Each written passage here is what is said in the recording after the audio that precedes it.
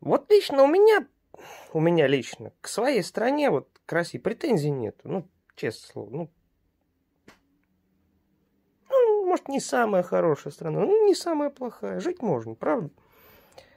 Так уж э, исторически сложилось, что э, вокруг роддома, да, в котором я вот родился, уже кто-то ухитрился построить СССР, да?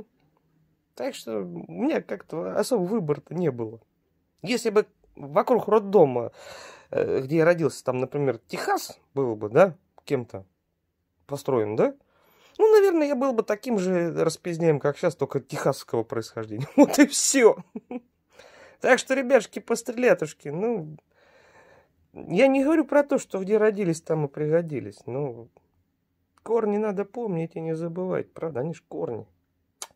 А терять корни это нельзя.